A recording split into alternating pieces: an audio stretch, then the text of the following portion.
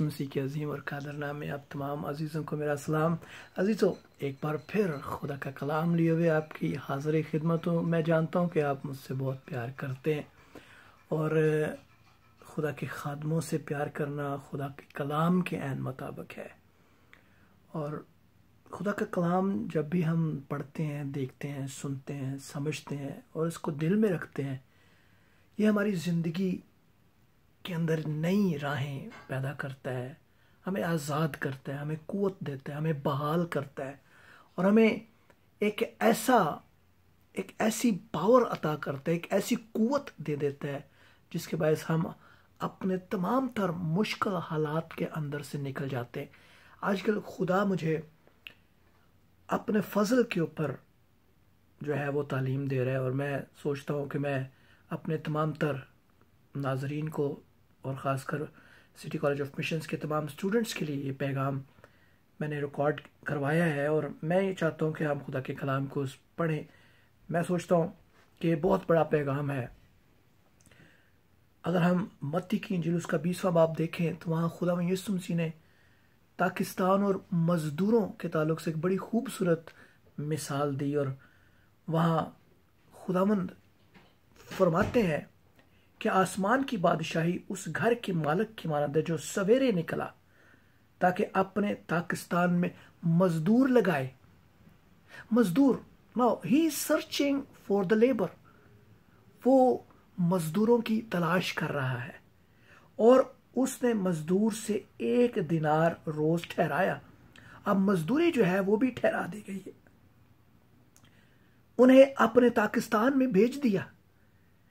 پھر پہر دن چڑھے کے قریب نکل کر اس نے اور مزدوروں کو بازار میں بیکار کھڑے دیکھا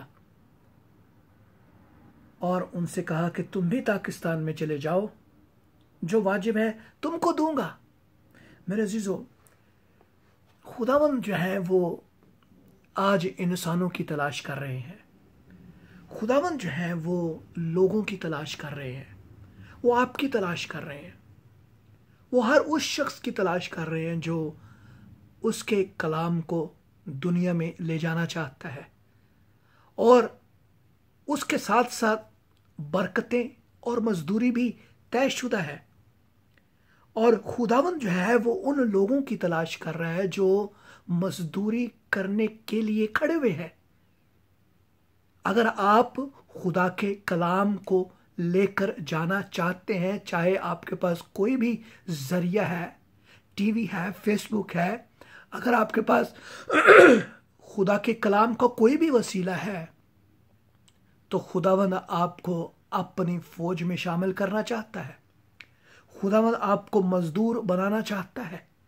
میرے عزیزو، یہاں بڑی خوبصورت بات میں نے سیکھی اور وہاں لکھا ہے، پھر اس نے دوپہر اور تیسرے پہر کے قریب نکل کر ویسا ہی کیا۔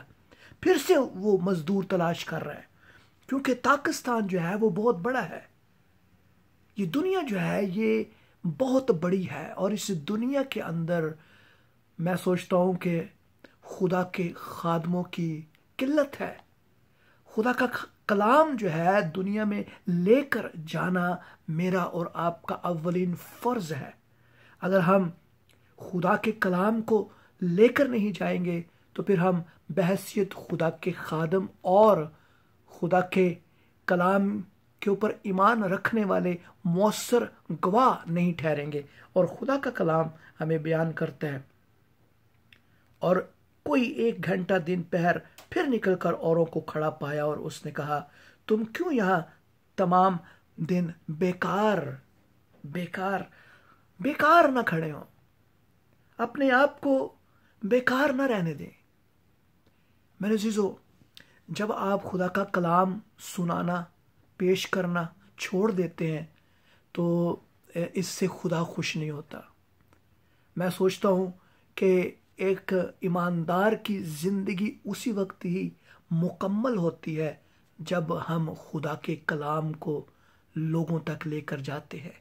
جب ہم خدا کے زندہ زندگی بخش اور پرسر کلام کو لوگوں کی زندگی کا حصہ بناتے ہیں اور خداون جو ہے مزدوروں کی تلاش کر رہا ہے۔ خداون جو ہے مزدوروں کو ڈھونڈ رہا ہے۔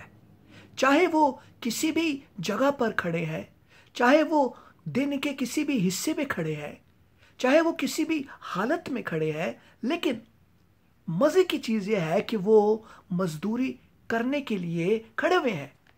But you have to willing آپ کو ولنگنیس شو کرنے کی ضرورت ہے اگر آپ ولنگ نہیں ہیں تو خدا آپ سے کام نہیں لے گا میرے عزیزو خدا آپ سے کام لینا چاہتا ہے اگر آپ ولنگ ہیں تو خدا کا کلام ہمیں بیان کرتا ہے اور مزدوری جو ہے وہ ٹھہرا رہا ہے.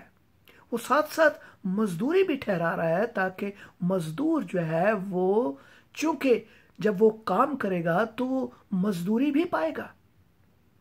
اور اس نے ان سے کہا کہ تم بھی پاکستان میں چلے جاؤ۔ لیکن میرے عزیزو، یہاں ایک بڑا کام یہ ہوتا ہے کہ جب شام ہو جاتی ہے تو پاکستان کے مالک نے اپنے کرندے کو کہا کہ مزدوروں کو بلا اور پچھلوں سے لے کر پہلوں تک تمام کو مزدوری دے دے۔ جب وہ آئے، جو گھنٹہ بھر دن رہے، لگائے گئے تھے تو ان کو ایک ایک دنار ملا۔ جب پہلے مزدور آئے تو انہوں نے یہ سمجھا کہ ہم کو زیادہ ملے گا۔ میرے عزیزوں، لیکن خداوند یسو مسیح نے کہا، جب ملا تو گھر کے مالک سے یہ کہہ کر شکایت کرنے لگے۔ ان پچھلوں نے تو ایک ہی گھنٹہ کام کیا اور ان، اور تو نے ان کو ہمارے برابر کر دیا، جنہوں نے دن بھر کا بوجھ اٹھایا اور سخت دھوپ سے ہی لیکن میرے عزیزو خداون یسو مسیح یہاں کیا جواب دے رہے ہیں؟ اور انہوں نے ان سے ایک سے کہا، میاں، میں تیرے ساتھ بے انصافی نہیں کرتا۔ کیا تیرا مجھ سے ایک دنار نہیں ٹھہرا تھا؟ جو تیرا ہے، اٹھا لے اور چلا جا۔ میری مرضی یہ ہے کہ جتنا تجھے دیتا ہوں، اس پچھلے کو بھی اتنا ہی دوں۔ یا تو اس لیے، میرے عزیزو، خدا جو ہے یہ چاہتا ہے کہ ہم اس کے کھیت میں کام کریں۔ خدا یہ چاہتا ہے کہ ہم اس کے جلال کے لیے کام کریں۔ چاہے آپ کسی بھی فیلڈ میں ہیں، چاہے آپ انجینئر ہیں، ڈاکٹر ہیں، نرس ہیں، چاہے آپ کوئی بھی فیلڈ ہے آپ کی، آپ پیرامیڈک سٹاف ہیں یا پھر آپ آفس میں جاب کر رہے ہیں، آپ کسی بھی ٹریڈ سے تعلق رکھتے ہیں۔ میرے عزیزو خدا کے کلام پر غور کریں اور خدا کے کلام کے مطابق اس کا، اس کے مزدور بن جائے اس کے پاکستان کے مزدور بن جائے کیونکہ خداون آپ کے لیے مزدوری کو لیے ہوئے کھڑا ہے۔ خداون آپ کو جاب دینا چاہتا ہے۔ خداون آپ کو اپنے پاکستان میں لے کر آنا چاہتا ہے۔ خدا یہ چاہتا ہے کہ وہ آپ کو اس کا ریوارڈ بھی دے اور خدا یہ چاہتا ہے کہ آپ اس چیز کو ملحوظ خاطر نہ رکھیں کہ آپ کو کتنا ملے گا۔ لیکن یہ چیز ضروری ہے کہ آپ کو خدا ضرور برکتوں سے بھرے گا۔ میرے عزیزو، خدا کے فضل کو نہ چیز نہ جانے۔ خدا جو ہے، وہ آپ سے بہت پیار کرتا ہے۔ چاہے آپ کسی بھی حالت میں ہیں، دکھ میں ہیں، پریشانی میں ہیں، مصیبت میں ہیں ڈونٹ بی فرسٹریٹڈ خداون کا فضل آپ کے اوپر اسی طرح ہے جیسے پہلے تھا۔ خداون آپ کو نکالنا چاہتا ہے، وہ آپ کو بحال کرنا چاہتا ہے، وہ آپ کو آزاد کرنا چاہتا ہے۔ زندگی کے نشیب و فراز سے نہ گھبرائیں۔ یہ آپ کو ہمیشہ اونچا لے جاتے ہیں۔ خداون آپ کے ساتھ ہو۔ خداون آپ کا رہنما ہو۔ آمین۔